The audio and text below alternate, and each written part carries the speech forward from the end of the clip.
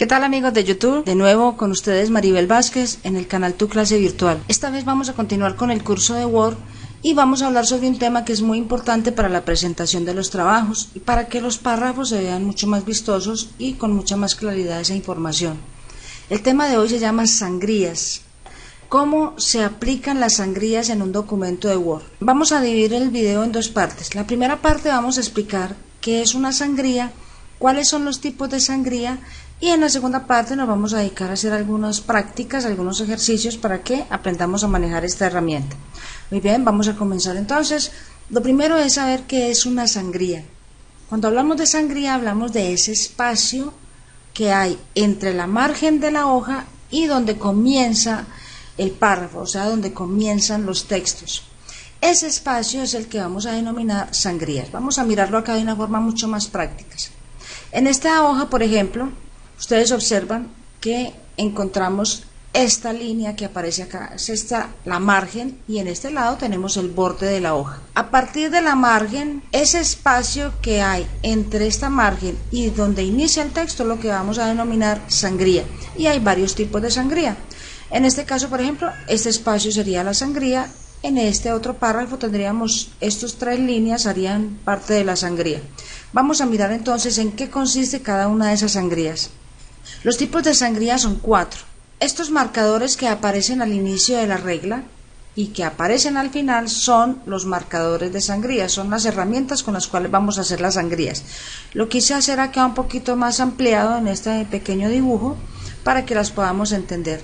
La parte que está señalando la flecha, o sea, esta parte de aquí arriba, este pequeño triángulo de aquí arriba, que corresponde a este que está acá, se llama marcador de sangría de primera línea. Como su nombre lo dice, la sangría o el espacio se marcaría solo la primera línea del párrafo. Tenemos marcador de sangría francesa, que es este que corresponde acá, y que sería este mismo. El marcador de sangría francesa tiene la característica de mostrarse solamente en las líneas que le siguen a la primera. Vamos a mirarlo en un ejemplo mucho más adelante. Este de acá es el marcador de sangría izquierda. Cuando yo muevo este marcador, o sea, este que está acá, se mueven todos al tiempo, generándome lo que es el espacio en el lado izquierdo, pero para todo el párrafo. Por último, tenemos el marcador de sangría derecha, que está ubicado acá. desde acá corro el espacio donde finaliza el párrafo. Este espacio que me quedaría acá al correr los centímetros se llama sangría derecha. Ahora vamos a mirarlo acá de una forma mucho más clara. La sangría izquierda, como mencionamos, que es cuando muevo desde acá, esa sangría izquierda me la está formando desde la margen izquierda hasta donde inicia el párrafo y se aplica a todo un párrafo. La sangría derecha, que es esta que vemos acá, se aplica desde la margen derecha hacia la izquierda, generando este espacio entre la margen derecha y el texto. La sangría de primera línea, que equivale a este símbolo que estamos viendo acá, se aplica a este párrafo, pero solamente el espacio de la sangría lo toma la primera línea del párrafo.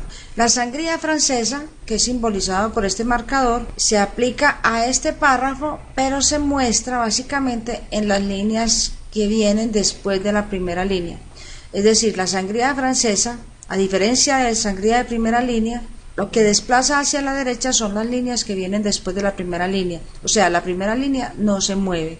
Vamos a mirar en este documento de forma práctica cómo se aplicaría. Todos estos párrafos que tenemos acá están alineados hacia la izquierda. Voy a seleccionarlos, voy a presionar la tecla Control E para seleccionar todo el documento y darle acá justificado. Justificado, recuerden que lo que me muestra es alineación a la izquierda y alineación a la derecha. Voy a aplicar a cada párrafo una sangría diferente. Entonces voy a posicionar el cursor en la primera línea del primer párrafo, que es este. Desde acá me voy a ir a la sangría y voy a crear una sangría izquierda. Posiciono el cursor del mouse sobre este marcador y voy a arrastrarlo hasta el 2. Aquí me acaba de crear una sangría izquierda solamente al primer párrafo.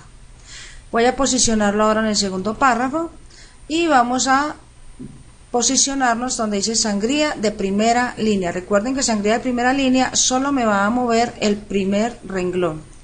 Y observen cómo en este párrafo lo único que se desplazó fue la primera línea del párrafo. voy a ubicarme en el tercer párrafo y vamos a aplicar lo que llamaríamos sangría francesa. Doy clic en este marcador y arrastro hasta que se forma la sangría francesa. Observenlo acá. Y me voy a ubicar en este párrafo, acá en el lado derecho, y voy a mover la sangría derecha. Voy a desplazarlo unos centímetros y aquí tengo mi sangría derecha. Así he creado cada una de las sangrías desde la regla. Otra forma de crear sangrías de unas, con unas medidas mucho más precisas es desde la pestaña inicio, en la sección párrafo, me voy acá a este botoncito para que me abra la caja de diálogo y acá vamos a encontrar una parte que dice sangrías. Puedo aplicar entonces cada una de las sangrías desde la izquierda, desde la derecha o sangrías especiales como primera línea o sangría francesa. Vamos a mirarlo en un ejemplo. Voy a retomar el texto como lo tenía desde el principio sin ningún tipo de sangría y lo voy a hacer desde acá.